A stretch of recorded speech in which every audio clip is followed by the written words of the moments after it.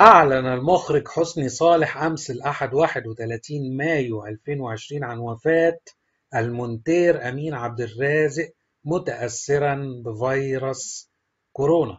وأكد حسني صالح للوطن أن مرض كورونا هو السبب وراء وفاة المونتير فهو يعتبر أهم مونتير في تاريخ الدراما رحمه الله.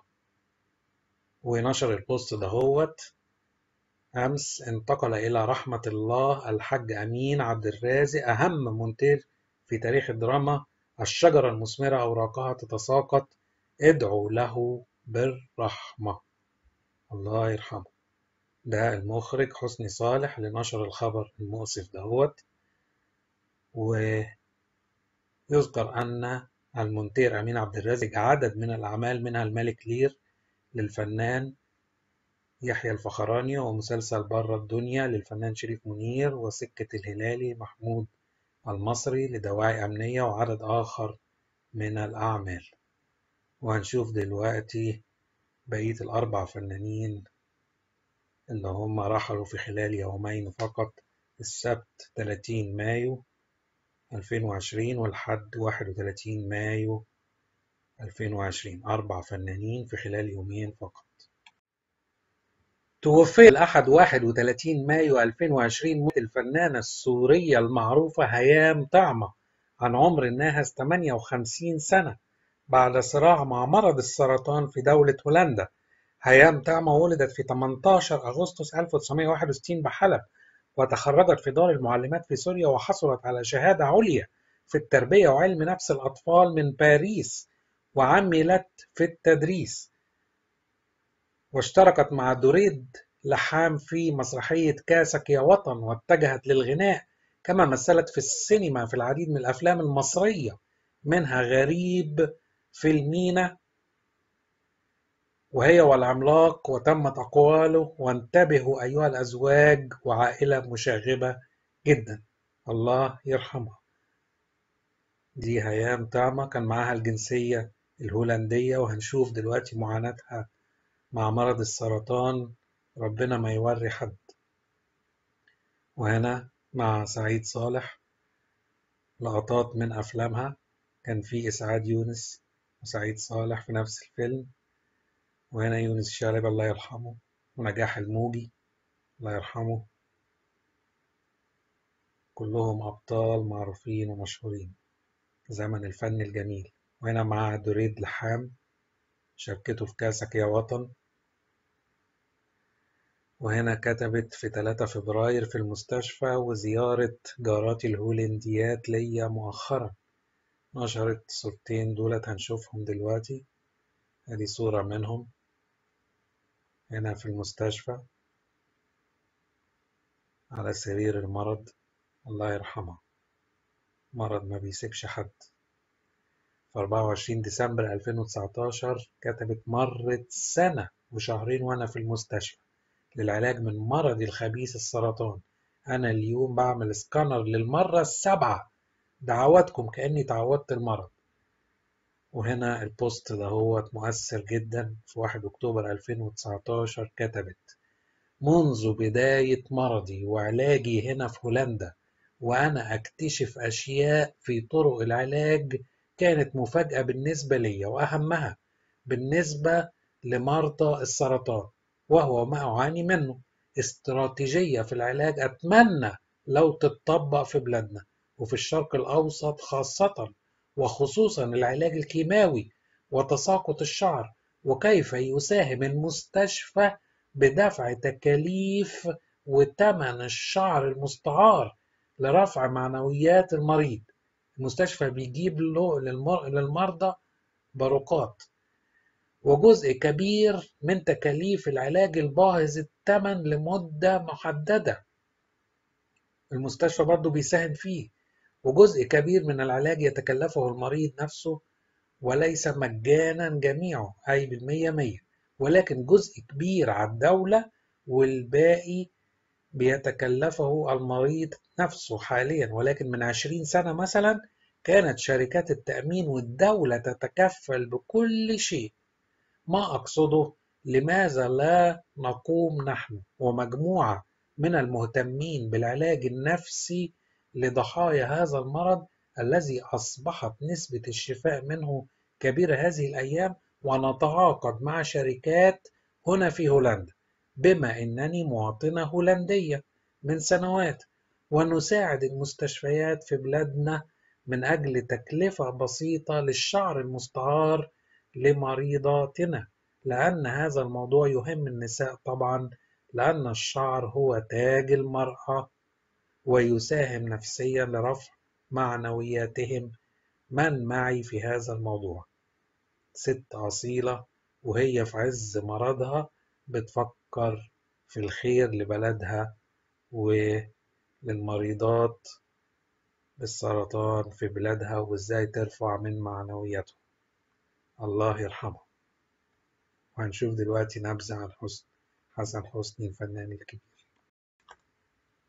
توفيت الأحد 31 مايو 2020 الفنانة المعتزلة عفاف شاكر أخت الفنانة الراحلة شادية من والدتها في أمريكا.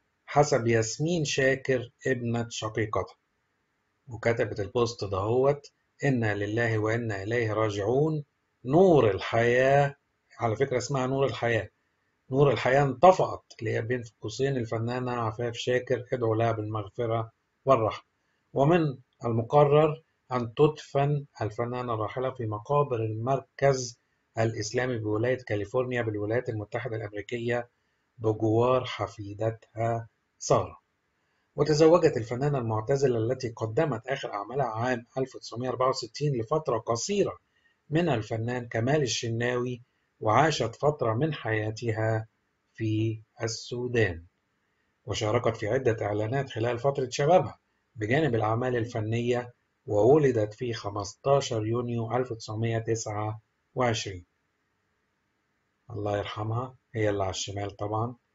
في شبه كبير بينها وبين شادية وهنا من أحد أعمالها. وهنا وهي بتبوس شادية الله يرحمهم دي صورة نادرة ليهم مع بعض. هي جوزت كمال الشناوي فترة من الوقت. بدأت حياتها الفنية في سن العشرين في أواخر الأربعينيات من خلال فيلم ملاك الرحمة مع فاتن حمامة وإخراج يوسف وهبي.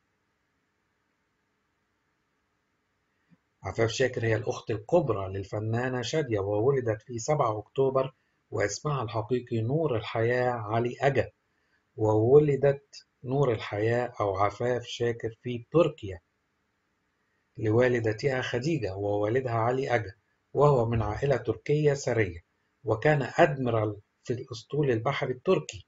وتوفي والدها في أحد الحروب في عشرينيات القرن الماضي. ثم تزوجت والدتها من أحمد كمال الدين شاكر وهي لديها بنتان وهما عفاف وسعاد. الله يرحمها. ودي آخر صورها. وهنشوف غادر جثمان الفنان الراحل حسن حسني اليوم السبت 30 مايو 2020 مستشفى دار الفؤاد بالمهندسين إلى مقابر الأسرة على طريق الفيوم الله يرحمه. وحضر عدد قليل من النجوم في مقدمتهم المطرب الشعبي سعد الصغير والفنان محمد الصاوي والفنان منير مكرم. صلاة الجنازة عليه أمام المقابر بحضور الأسرة والأقارب. ده مدفن بتاع أسرة الفنان حسن حسني. تم دفنه اليوم وتوفي صباح اليوم. وهنا هما بيصلوا عليه. كان فنان محبوب جدا من الشعوب العربية كلها. طبعا كل اللي جه بالكمامات عشان فيروس كورونا اللي قلب العالم كله. ربنا يرفع الوباء ده عن العالم كله. وفي تكريمه مؤخرا قبل وفاته بكى الراحل الكبير قائلا أنا سعيد أوي وفرحان أوي إنهم لحقوا يكرموني وأنا لسه عايش. بكلمكم بجد عشان أفرح بالتكريم ده وأنا وسطيكوا لسه. فشكرا أنا سعيد بيكوا أوي. ألف شكر. وهنا أثناء تكريمه كان جنبه صلاح عبد الله سنده. محمد هنيدي طبعا. كان أول من قام بنعيه ونشر الصورة ديت لي معاه وكتب وجعت قلبي يا عم حسن إنا لله وإنا إليه راجعون. وهذه الصورة اللي نشرها طبعا كان شاركه قبل كده في أفلام. حسن حسني مولود 15 أكتوبر 1931 ممثل مصري ولد في حي القلعة لأب مقاول أي أنه الآن واليوم أتم حوالي تقريبا 89 سنة. هذا العمر الطويل لم يكن خاليا من متاعب ومواقف صعبة ومفاجآت غيرت مجرى حياته والتي بدأت في حي الحلمية الجديدة. ففي سن السادسة فقد والدته التي وافتها المنية في سن مبكرة. وهو الحدث الذي أسبق عليه هالة من الحزن الدفين وفي المدرسة الابتدائية وتحديدا في مدرسة الرضوانية عشق التمثيل الذي عبر عنه على مسرح المدرسة ويذكر أنه قدم دور أنطونيو في إحدى الحفلات المدرسية وحصل من خلاله على كأس التفوق بمدرسة الخديوية كما حصل على العديد من ميداليات التقدير من وزارة التربية والتعليم فيما حصل على شهادة التوجيهية عام 1956 وقد استطاعت عدسات الصحفيين التقاط صورة نادرة لزوجة الفنان الكبير حسن حسني فهو معروف عنه إبعاد عائلته عن الأضواء والشهرة.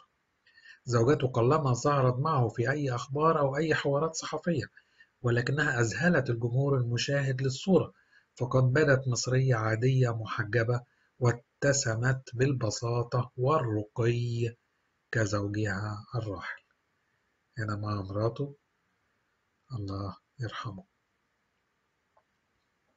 ودي صور تانية لي معاها. وهنشوف بناته بعد شوية. هنا في تكريمه من المركز الكاثوليكي.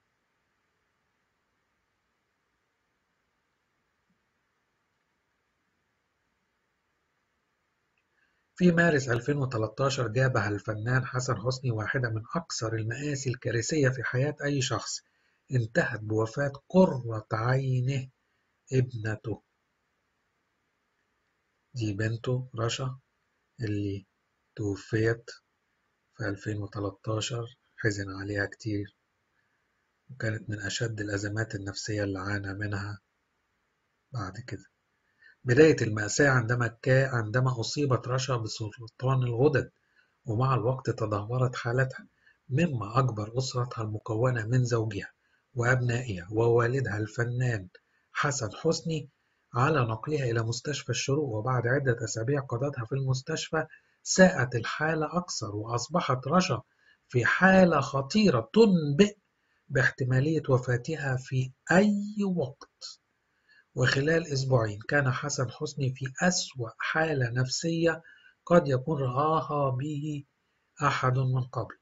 أصبح أكثر انطواء لدرجة أنه كان يصور مشاهده في مسلسل مزاج الخير بصعوبة شديدة يحضر وقت التصوير ويفر إلى ابنته بعدها على الفور. ولا ينسى فريق عمل هذا المسلسل ذلك اليوم الذي كان فيه حسن حسني منهارا تماما.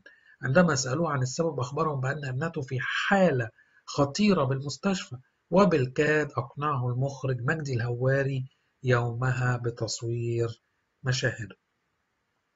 حسن حسني فكر في عمل عمرة لابنته وطار إلى الأراضي المقدسة ليتضرع ويدعو الله أن يشفي له ابنته إلا أن الرياح جاءت بما لا تشتهي السفن. وبعد عودته بيومين ساءت حالة رشا وأدت إلى وفاتها. رشا ليست الابنة الوحيدة لحسن حسني. حيث أن له ابنتين أخريتين كما أن ابنة زوجته وابنها مدير التصوير المعروف مصطفى فهمي هما بالنسبة له أبنائه. هنا مع فاطمة عريسها دي فاطمة البنت التانية. هنا في زفافها ووالدتها جنبها وصابرين. دي فاطمة بنت حسن حسني الثاني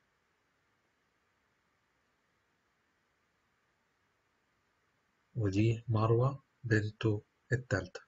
عنده ثلاث بنات وراشا توفت الله يرحمه مصطفى هو سندي الذي يعتمد عليه في الحياة كما يقول حسن حسني دائما لكل من حوله.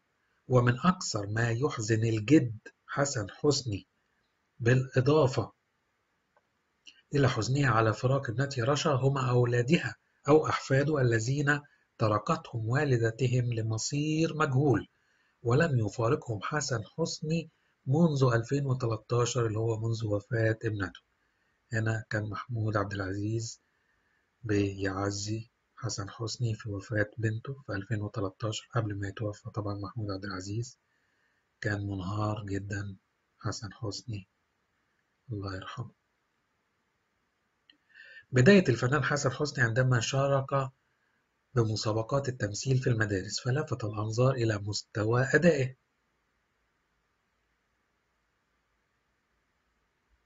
وبالفعل جاءت بداية الستينات ليجد نفسه ممثلا محترفا يتقاضى أجرا عن عمل يحبه لدرجة العشق وأصبح عضوا في فرقة المسرح العسكري والتي كانت تابعة للجيش. وقتها لم ينتبه إلى أنه سوف يكون ممثلا لشريحة معينة من الناس. هم فقط من الجنود والضباط وأحيانا عائلاتهم حيث كان يقدم عروضه على مسرح المتحدين للضباط وأسرهم في شهر رمضان وكان ما ألمه في تلك الفترة عدم وصوله للجماهير على نطاق واسع مما سبب له أزمة شاركه فيها الفنان المبدع الراحل حسن عبدين حتى صدر قرار بحل المسرح العسكري عقب هزيمة 5 يونيو عام 1967 وقتها شعر الاثنان بالانفراجة ليبدأ كل منهما رحلة البحث عن فرصة. عليه مسرحيات عديدة منها مسرحية عرابي مع المخرج نبيل الألفي ومسرحية المركب اللي تودي مع المخرج نور الدمرداش وغيرها من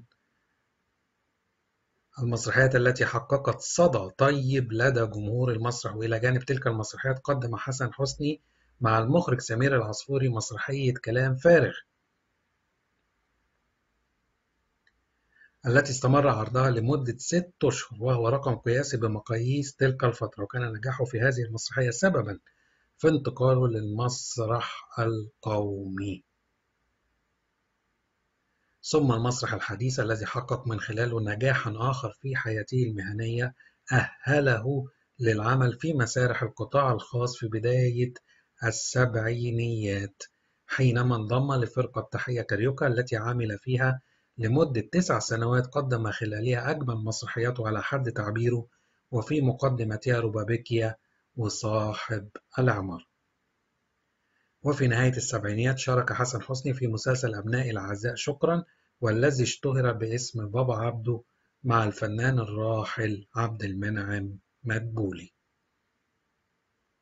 ومع مطلع الثمانينات فتحت استوديوهات دبي وعجمان أبوابها للنجوم المصريين وكان من بينهم حسن حسني الذي صور أعمالا كثيرة لا يذكر هو نفسه عددها وعرضت في دول الخليج بكثافة وقتها أطلق عليه أصدقائه لقب الممثل الطائر نظرا لتنقله بين استديوهات عجمان ودبي بكثرة لتصوير العديد من الأعمال.